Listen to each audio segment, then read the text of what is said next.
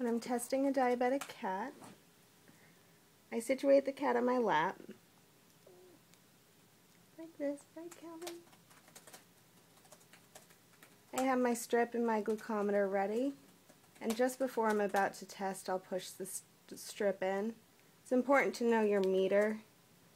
Make sure that you know how long it takes for it to time out, how much time you have to test the cat. When testing Calvin, I take my left hand and hold the tip of his right ear. In my right hand, I have my lancing device. We use needles, but you'll probably be using the one sold with your glucometer. I'd stick my right pinky in the right ear and pull the ear taut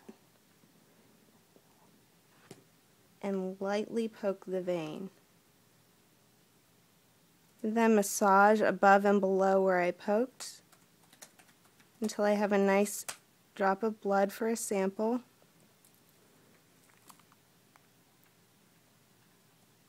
Put the blood on the strip and hold it till it clots.